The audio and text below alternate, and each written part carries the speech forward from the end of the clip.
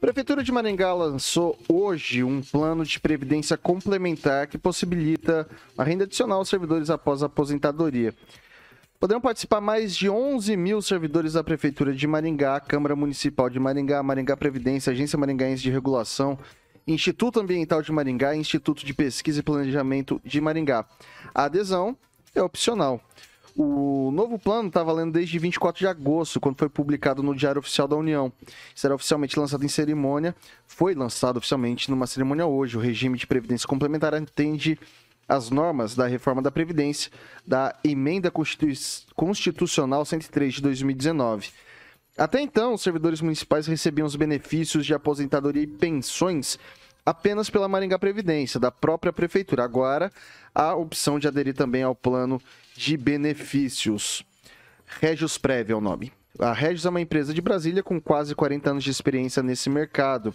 A Regios já orienta representantes das secretarias municipais das autarquias e da Câmara de Vereadores sobre o novo plano, por meio de reuniões presenciais, online e palestras. Além disso, a empresa manterá uma equipe em Maringá para atender presencialmente os servidores que tiverem dúvidas, além do atendimento por telefone, e-mail, WhatsApp, entre outros. Então foi lançado esse plano de previdência complementar.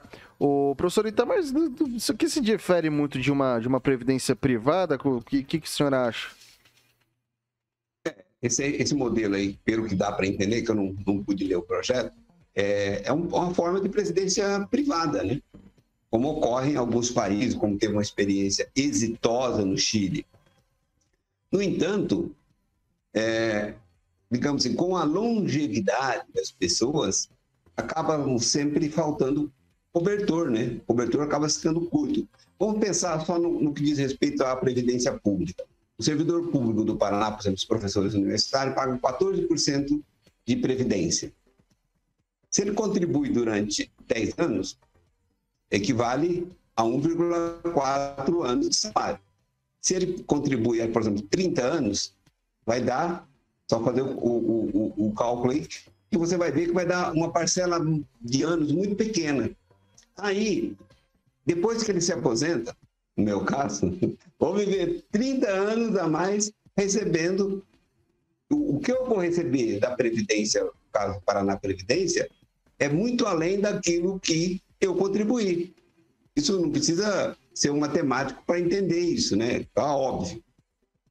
Da mesma forma, quando você tem uma previdência pública que paga apenas uma parte e você precisa fazer esse complemento, vai dar problema também. Ou seja, precisa ser uma empresa que faça os investimentos, que possa ter rentabilidade. Só que a rentabilidade dos investimentos que são feitos, inclusive pelos planos privados, pelos fundos de, os fundos de pensão, por exemplo, é, ele precisa ser rentável e não pode dar BO. E muitas vezes, por exemplo, os fundos de pensão da Itália que compraram os títulos da dívida argentina, né? aquela outra crise que a Argentina teve, quebrou a previdência, quebrou, digamos assim, a sequência de pagamento para os italianos que dependiam daquele fundo de pensão que tinha investido nos títulos da dívida argentina. Então, esse é um problema eterno. Seu neto, Vitor, vai enfrentar esse problema também, porque, digamos, nós queremos contribuir um período curto e receber um período longo. E nem sempre isso vai dar certo. Ou melhor, isso nunca dá certo. Imagine quando a pessoa morre. E muitas vezes o cara morre e tem um filho pequeno. Esse filho vai receber a pensão até 20 e poucos anos. Então é difícil acertar isso. Mas é uma opção inteligente, eu acho que é por aí mesmo. E aí, Celestino? Eu acho bacana, eu acho legal, né? Agora precisar equiparar os salários dos servidores municipais, né? porque é um atrativo é, para o cara que ganha do médio ao alto salário. E o pessoal que está ali, por exemplo, o pessoal que. os professores que trabalham nos, nas 30 horas lá, que não foram ainda contemplados com, com aumento, né, que estão reivindicando através do sindicato. Então, assim, fica, fica um atrativo para poucos. Né, mas é uma coisa é, muito boa de ser feito aí pelo, é, pelo prefeito, abre um, um leque, uma possibilidade. Né, eu acho que Correios tem, Banco do Brasil tem. Acho que a prefeitura de Maringá, eu não, não conheço outra prefeitura que, que tenha isso, sempre na vanguarda, né? Maringá sempre na vanguarda desses, desses processos de previdência aí. Vamos ver. É uma, uma boa, sim, mas tem que começar a equiparar o salário do, do servidor, né? Para dar a possibilidade de todos participarem, não só uma classe. Francês. É, o professor usou o termo correto, cobertor curto. Há muito que se discute que uma hora a prefeitura de Maringá pode quebrar com relação à aposentadoria de seus funcionários. Hoje, com o, as pessoas vivendo em média 76,8 anos, considerando que geralmente a pessoa se aposenta na prefeitura de Maringá entre os 60 e 65 anos, é muito dinheiro que vai sair do cofre público, porque o salário do aposentado é atualizado conforme as correções que são aplicadas ao pessoal da ativa. Então, é a, é a carga cada vez maior, ela vai se vai empilhando beneficiários aí e a prefeitura de Maringá realmente é, tá é, complica-se cada vez mais. Muito inteligente, muito é, aprovado essa, essa iniciativa do prefeito Ulisses Maia de se preocupar com isso, antecipar um problema que os prefeitos vêm levando de roldão, passando para frente. Vou passar para o Lanza. Olha, é como bem disse o francês, é um problema que pode acabar virando uma bola de neve, viu, francês? É uma bola de neve já. Literalmente, já é uma bola de neve, pode ficar maior ainda, pode virar até uma avalanche. É, principalmente porque quando você se fala em criação de, de, de previdência complementar, até falo para vocês, parece que a prefeitura já tem até o Maringá Previdência, porém parece que seria uma previdência além disso, e isso eu acredito que não, não deva ser um gasto muito importante ou interessante para a prefeitura investir. Principalmente porque não, a... a, prefeitura não, não vai, não vai investir. na prefeitura. Não, é. a prefeitura. E, adere quem quiser, não é obrigado. Não, mas o servidor não é assim, obrigado. Celestino, mesmo assim, Celestino. A prefeitura não mesmo, tem gasto nenhum. Celestino.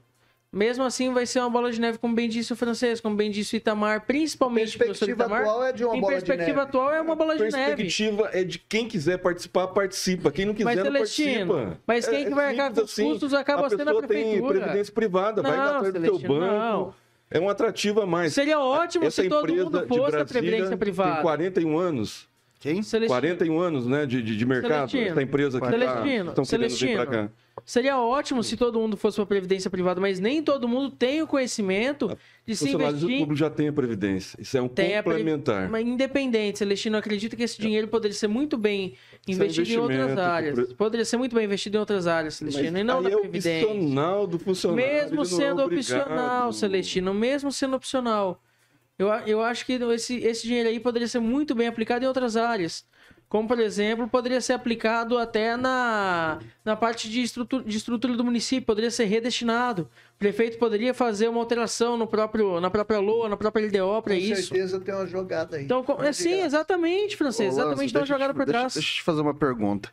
A gente vê nos últimos anos a, a, o reajuste dos, dos funcionários públicos sem ganho real. É basicamente a inflação, ano após ano. O que está sendo basicamente complementando a renda, porque a gente viu que teve um período de inflação que foi um pouco mais acentuado, foi o Vale Alimentação. Então, o Vale Alimentação teve um salto bastante grande. Pro, se propôs é, ó, ó, essa gratificação de 200 reais, auxílio internet, verbas que são indenizatórias, que elas não incidem na Previdência Social de servidores que são estatutários. É, e o, o aposentado, ele não tem o Vale Alimentação, ele não pode ter o vale alimentação, ele não pode ter esse tipo de gratificação, ele não pode ter esse auxílio. Você não, você não acha que seria justo, talvez, de alguma forma, reajustar? Porque se está tendo todo esse custo que a gente sabe que ah, a inflação de 6, 7% no mercado, ela nem sempre é desse jeito, são índices que variam muito. Você não acha que deveria uma atenção um pouco melhor para os aposentados? Olha, Vitor, a atenção poderia ser dada principalmente em uma reforma da previdência do município. Vamos capitalizar a aposentadoria desse pessoal. Não adianta você fazer uma previdência sem capitalização, ou seja, com que você possa receber os juros, inclusive, do co- como se a previdência, a previdência ela rendesse realmente, como é Lanza- mais ou menos uma poupança. Lanza, a gente, tá da falando, a gente tá é. falando já do, ser- do servidor que ele tá aposentado. Sim, poderia ser usado o dinheiro do próprio aposentado e capitalizar também. Bota para capitalizar. É a melhor saída hoje é a capitalização. Não tem, não tem outra medida que não seja não- melhor do que a capitalização.